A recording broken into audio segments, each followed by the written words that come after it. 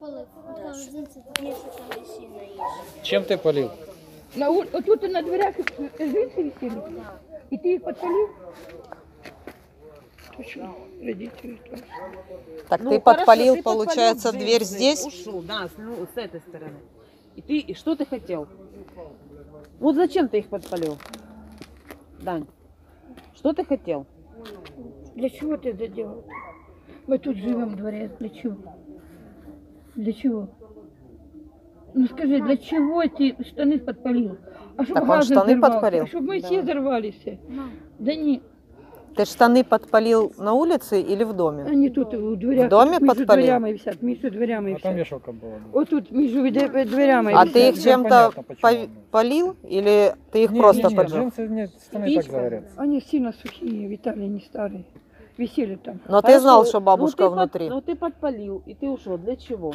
Чтобы она там сгорела? Ре- Ремер, вынеси что? телефон. Там на Ну а для чего? всё. Ну вот она загорела. Сгорел этот дом. Маму твою посадят.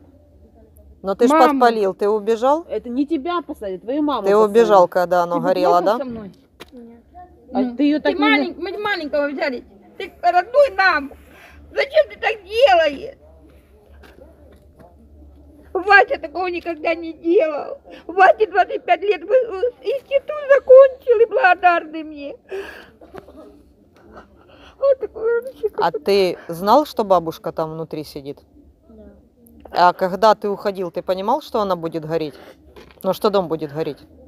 Ты понимал. И ты спокойно убежал, да? Ты ж побежал туда сразу к магазину.